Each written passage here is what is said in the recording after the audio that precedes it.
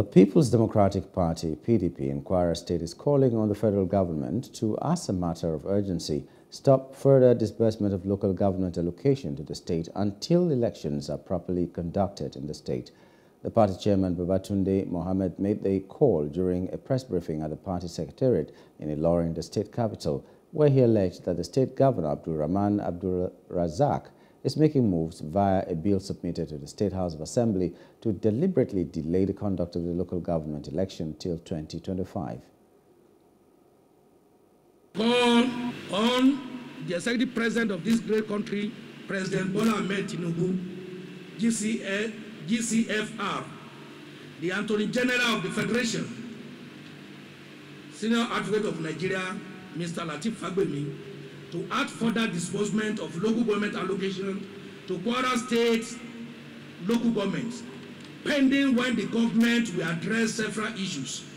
around it and ensure the ongoing undemocratic bill seeking postponement of local government elections to year 2025 is put on hold, while council elections are conducted as soon as possible to breathe a sense of relief to our people at the grassroots area. The party also alleged that the recent composition announcement of members of the board of the Kwara State Independent Electoral Commission, KWASIEC, was in a bid to deceive the public, noting that the board is filled with carefully selected card-carrying members of the APC. In a user-crafty character, the Kwara State government, in a bid to deceive the Kwara public of our readiness to conduct local government elections, announced the composition of the board of the Kwara State Independent Electoral Commission, KWASEC.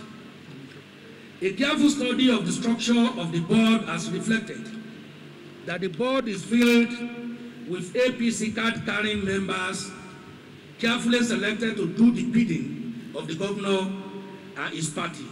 Hello, hope you enjoyed the news. Please do subscribe to our YouTube channel and don't forget to hit the notification button so you get notified about fresh news updates.